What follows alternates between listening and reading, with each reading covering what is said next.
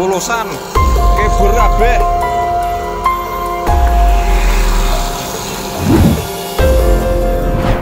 Bencana badai angin kencang atau puting beliung kembali melanda salah satu kawasan di Gunung Kidul, Provinsi Daerah Istimewa Yogyakarta. Sejumlah permukiman warga di Kelurahan Mulusan, Kapanewon, Palian, Gunung Kidul, porak-poranda setelah dilanda angin kencang pada Jumat 11 Maret 2022. Warga menuturkan sekitar pukul 4 sore waktu setempat saat itu, kawasan sekitar memang tengah dilanda hujan sangat deras. Namun tak berselang lama kemudian, terdengar suara gemuruh angin hingga kemudian diikuti dengan suara puing-puing beterbangan maupun suara pohon-pohon yang tumbang.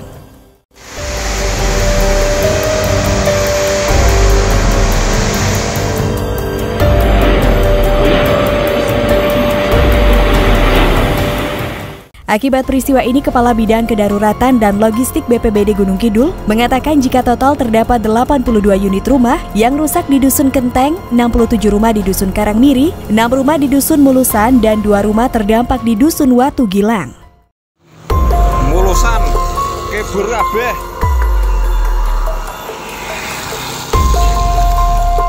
Rata-rata gentengnya habis.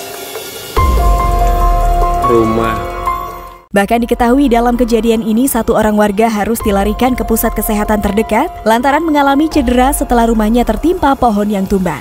Sementara itu pihak berwenang lantas mempersiapkan langkah cepat dalam penanganan bencana ini. Pihaknya telah mempersiapkan balai dusun setempat sebagai lokasi pengungsian sementara bagi warga. Hal ini lantaran ada cukup banyak rumah warga yang mengalami kerusakan cukup parah sehingga tak memungkinkan untuk ditempati, terutama jika nantinya kembali terjadi hujan.